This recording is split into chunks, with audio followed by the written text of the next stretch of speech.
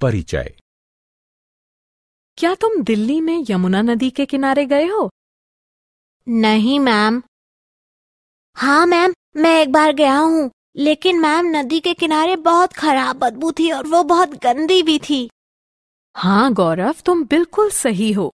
यमुना इस समय भारत की सबसे अधिक प्रदूषित नदी है। लेकिन पहले ये स्वच्छ थी। किंतु अब हमारी गतिविधियों ने इसे प्रदूषित कर दिया है तथा ये गंदी दिखती है। मैम हम किस प्रकार इस नदी को प्रदूषित कर रहे हैं? हमारी बहुत सी गतिविधियाँ जैसे प्लास्टिक के थैले फेंकना कारों से होने वाला प्रदूषण औद्योगिक कचरा डालना इसकी स्वच्छता को क्षति पहुंचाते हैं। आओ इन्हें और हमारे पर्यावरण पर इनके प्रभावों के बारे में विस्तार से जानें। उद्देश्य। इस पाठ के अंत में आप निम्न करने में सक्षम हो जाएँगे। पर्यावरण को परिभाषित करने और इसके सजीव और निर्जीव कारकों की सूची बनाना। परितंत्र की अवधारणा, उसके घटकों और जैव घटकों के समूहकरण की चर्चा करना। एक दूसरे के पोषक जीवों की श्रृंखला, यानी आहार श्रृंखला और जाल बनाना। मानवीय गतिविधियाँ किस प्रकार हमारे पर्यावरण के लिए खतरा बन गई हैं, इनका वर्णन करना। पारितंत्र।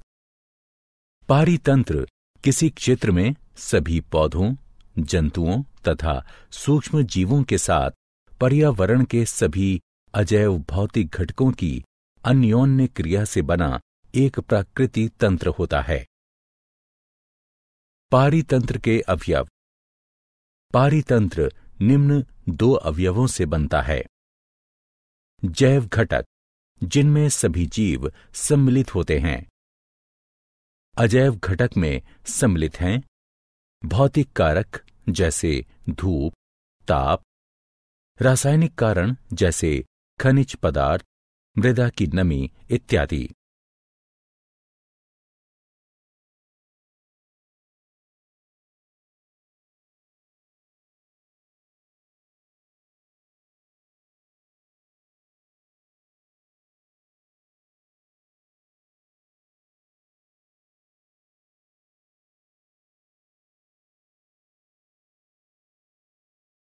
पारितंत्र के प्रकार।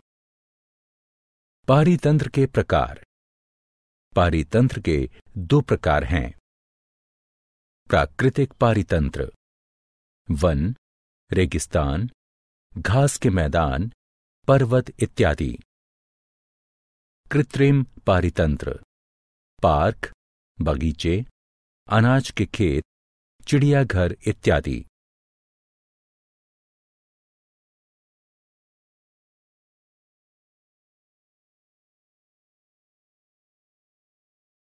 पारितंत्र के जैव घटकों का वर्गीकरण।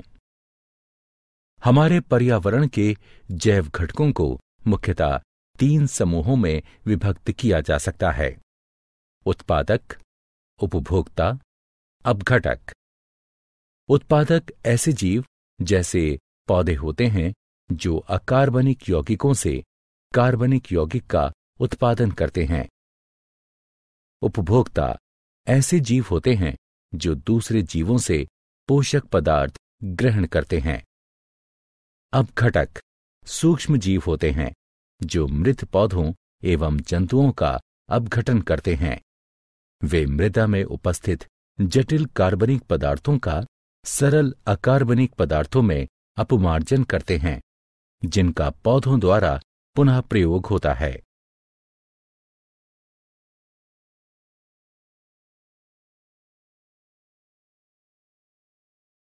आहार श्रृंखला। आहार श्रृंखला पारिस्थितिकी समुदाय में उपस्थित जीवों की उत्तरोत्तर व्यवस्था होती है, जिसमें एक जीव से दूसरे जीव तक आहार ऊर्जा की श्रृंखला का निर्माण होता है। इस श्रृंखला का प्रत्येक जीव अपने नीचे के जीव पर आहार के लिए निर्भर होता है और बदले में उसके ऊपर का जीव उसे आहार बनाता है। आहार श्रृंखला का प्रारंभ उत्पादकों से होता है। उत्पादक प्राथमिक उपभोक्ताओं यानी शाक भक्षी का आहार बनते हैं।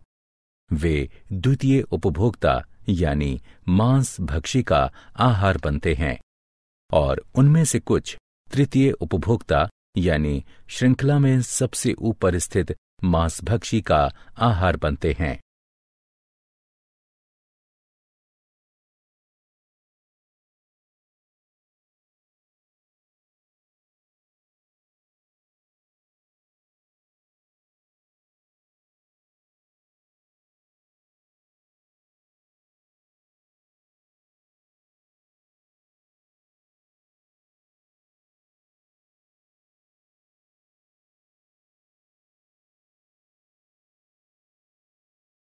पोषी स्तर आहार श्रृंखला का पोषी स्तर आहार श्रृंखला का प्रत्येक चरण, जिसमें आहार ऊर्जा का स्थानांतरण होता है, उसे पोषी स्तर कहते हैं।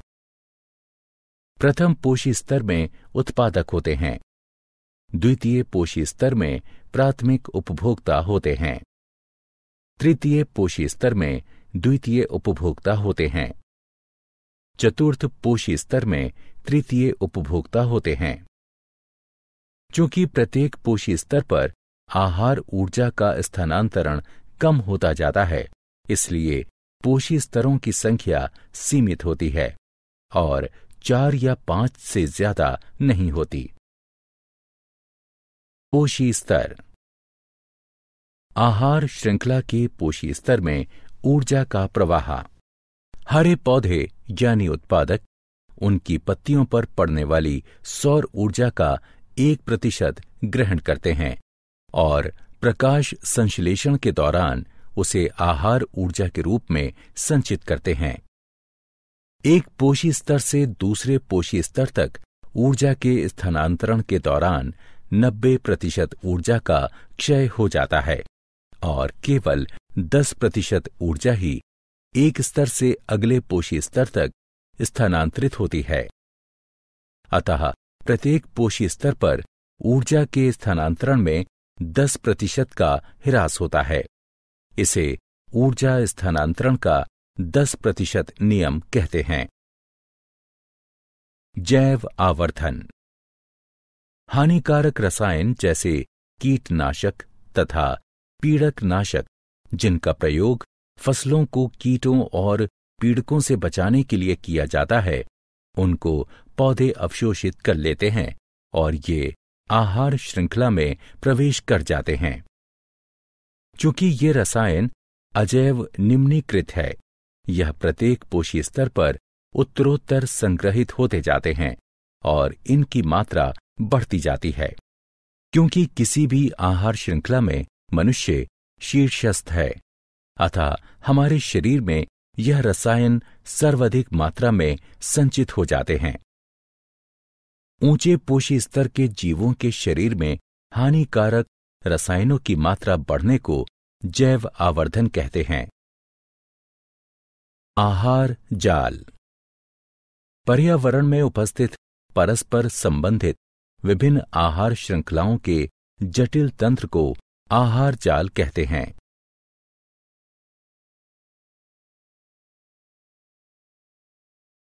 मनुष्य के क्रियाकलाप पर्यावरण को किस प्रकार प्रभावित करते हैं? मनुष्य के क्रियाकलाप बहुत से अपशिष्ट पदार्थों का उत्पादन करते हैं, जो पर्यावरण में फेंक दिए जाते हैं। ये अपशिष्ट वायु, जल और मृदा को प्रदूषित कर देते हैं।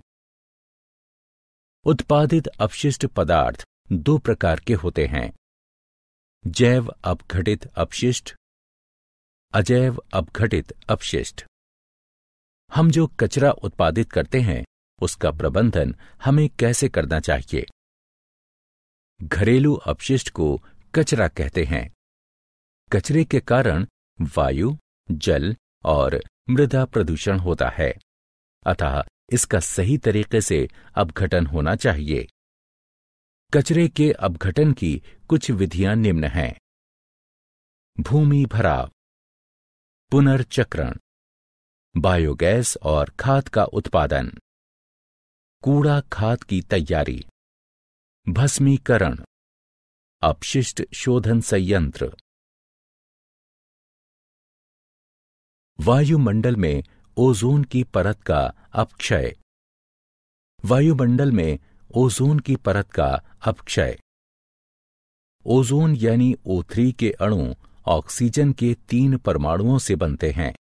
वायुमंडल के उच्चतर स्तर पर यूवी विकिरण के प्रभाव से ऑक्सीजन के कई अणु स्वतंत्र ऑक्सीजन परमाणुओं में बढ़ जाते हैं, जो ऑक्सीजन अणु, यानी O2 के साथ संयुक्त होकर ओजोन बनाते हैं। वायुमंडल के ऊपरी स्तर में उपस्थित ओजोन की परत सूर्य से आने वाले हानिकारक यूवी विकिरण से पृथ्वी की रक्षा करती है। यूवी विकिरण से मनुष्यों में त्वचा का कैंसर होता है। रेफ्रिजरेटरों और अग्निशामकों में प्रयोग होने वाले क्लोरोफ्लोरोकार्बन यानी सीएफसीएस जैसे रसायनों के प्रयोग से ओजोन की परत को क्षति पहुँच रही है। अतः ओजोन की परत की रक्षा करने के लिए सीएफसीएस का प्रयोग अब कम किया जा रहा है। क्या आप जानते हैं, ओजोन परत को क्षति पहुँचाने वाले पदार्थों पर उन्नीस सौ सत्तासी में मॉन्ट्रियल संधि हुई थी। ये एक ऐसी संधि है जिसके अंतर्गत ओजोन की परत को क्षति पहुँचाने वाले पदार्थों के वैश्विक उत्पादन, उपभोग और उत्सर्जन में कमी आई है। सारांश। आइए, हमने जो कुछ सीखा है, उसे संक्षेप में दोहराएँ।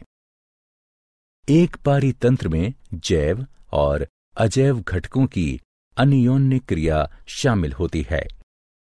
पारी तंत्र के जैव घटकों में उत्पादक, उपभोक्ता और अपघटक शामिल होते हैं। विभिन्न जैव स्तरों में शामिल जीवों की श्रृंखला, आहार श्रृंखला का निर्माण करती है। एक पोषी स्तर से दूसरे पोषी स्तर तक जाने में ऊर्जा का सतत क्षय होता है। उत्पन्न होने वाले अपशिष्ट पदार्थों को जैव अपघटित अपशिष्ट और अजैव अपघटित अपशिष्ट में वर्गीकृत किया जाता है। क्लोरोफ्लोरोकार्बन रसायनों के प्रयोग से ओजोन की परत को क्षति पहुँचती है।